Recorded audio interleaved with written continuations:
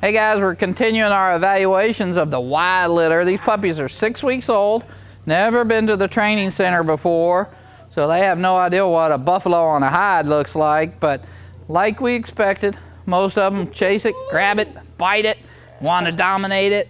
And once again, this will get better and better as we go along because they will figure it out, I guarantee you. So just some quick evaluation and information about the Y litter 2020. These guys are going to be superstars. Those guys really got it going on now. These buffalo hides, they really throw the puppies off at first.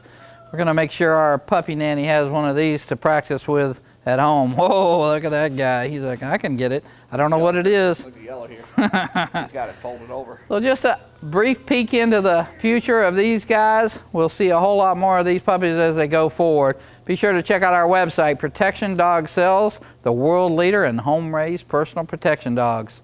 And they're cute too.